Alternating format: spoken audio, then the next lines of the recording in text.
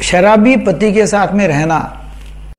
मेरा नाम है डॉक्टर दीपक केड़कर मैं मनोविकार, सेक्स, रोग, सम्मोहन तथा व्यसन मुख्य हूँ। महाराष्ट्र में मुंबई, पुणे, अकोला यहाँ प्रैक्टिस करता हूँ। अल्कोहलिज्म, अल्कोहल एडिक्शन, ये एक बीमारी है।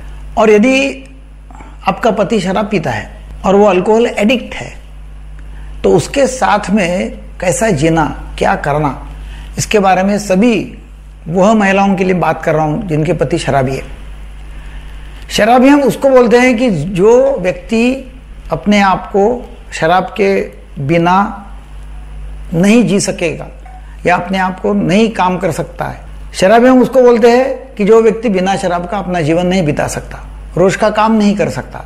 शराबी हम उसको बोलते हैं कि जो व्यक्ति बिना शराब का अपनी ज़िंदगी नहीं जी सकता, बिना शराब का अपना काम नहीं कर सकता, रोज की ज़िंदगी जीने के लिए उसको शराब चाहिए। तो वो शराबी है। उसने शराब नहीं लिया तो उसके हाथ कांपते हैं, पसीना आता है, घबराहट होती है, नींद नहीं आती है।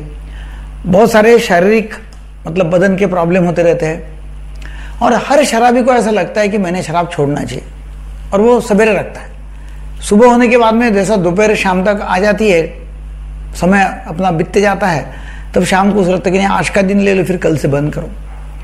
अब ये जो महिला है, जो पत्नी है शराबी की, अभी उसको क्या करना है? वो यदि उसके साथ में लड़ाई झगड़ा करेगी।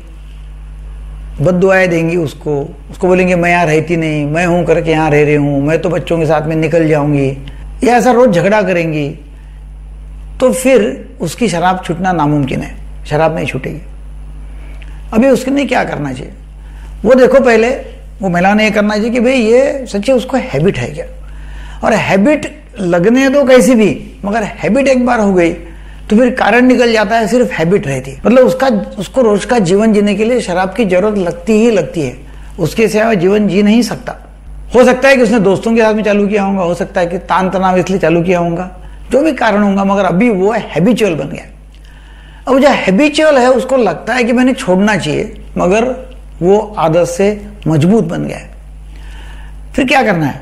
समझो पति शराबी के घर पे आता है तो उसके साथ में लड़ाई झगड़ा पहले बंद करना पड़ता। बिल्कुल मत करो, लड़ाई झगड़ा। उसको दोष मत दो, उसको उल्टा सीधा मत बोलो। वो पहले पी के आया हुआ है, उसका पहले दिमाग ठिकाने पे नहीं है। अब आप झगड़ा करेंगे तो और ज़्यादा प्रॉब्लम बढ़ते जाएगा। उसके साथ में लड़ाई झगड़ा करने का नहीं। वो जैसा बोलता है, वैसा जितना कर सकते उतना करो। उसको लेके आप आराम करो, सो जाओ। खाना खाना है तो खाना खाओ, नहीं तो सो जाओ। उसने कुछ भी बात छेड़ी, बात करनी ऐसा कुछ बोला, बोलना आज नहीं, हम कल से सवेरे बात करेंगे। तो रात को कोई बात नहीं करना है, झगड़ा, झंझट कुछ नहीं करना है, उसको ब्लेम देने का नहीं है, कुछ नहीं करने का है। और सिर्फ़ उसको खाना खाना है तो खाना खिलाओ, बोलना सो जाओ तो फिर देखेंगे सुबह।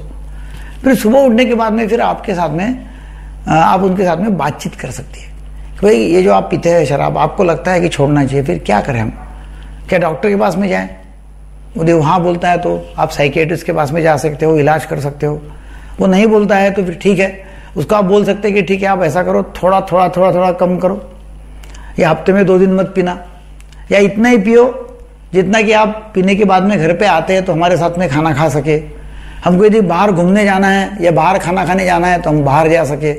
हम आपके साथ में बातचीत कर सके, उतना ही पियो। तो ऐसे जो उनके साथ में आप बातचीत करते हो, और वो भी सुबह तो सुबह हाँ बोलेगा कि ठीक है, मैं अभी कोशिश करता हूँ। और वो करेगा भी कोशिश। फिर शाम को उसका टाइम कैसे बिताना जल्दी वो ऑफ़िस से कैसे घर पे आ सकता है?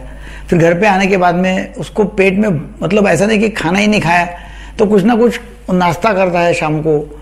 कुछ तो भी खाता है मतलब पेट भरा हुआ है तो फिर शराब पीने के चांसेस कम हो जाते हैं।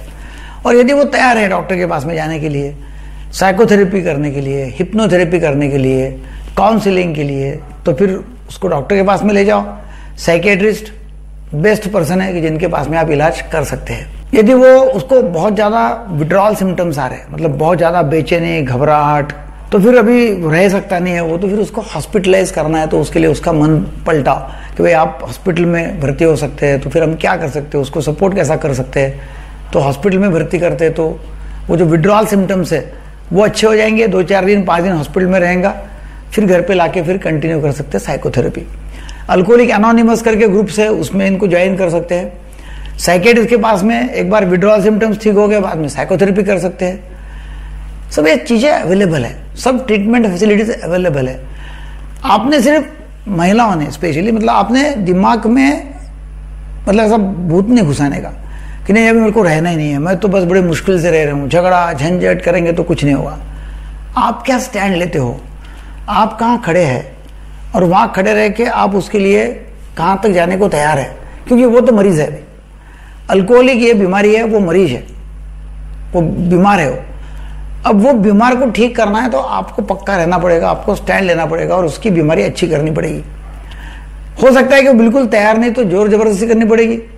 हो सकता है कि नींद की दवाई देके उसको सुला के फिर डॉक्टर के पास में लेके जाना पड़ेगा। बहुत ज़्यादा हो गया होगा तो। तो जो भी करना है वो करना पड़ेगा।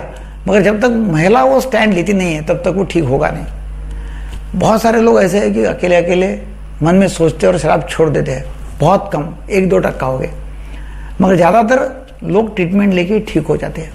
फिर कोई ऐसी गोली है कि जो मेंटेनेंस ट्रीटमेंट हम देते हैं कि मेंटेनेंस ले लो। दो गोली रोज खाओ सुबह शाम तो फिर शराब जब पियेंगे तो उल्टियाँ होंगी। फिर वो डर से वो शराब पीता ही नहीं और शराब से दूर रहता है। तो मेंटेनेंस ट्रीटमेंट है। मेंटेनेंस साइकोथेरेपी है।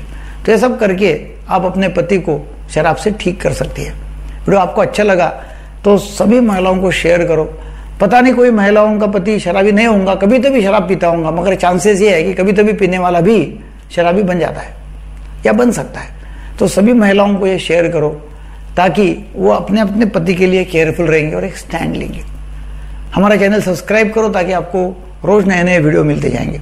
Thank you very much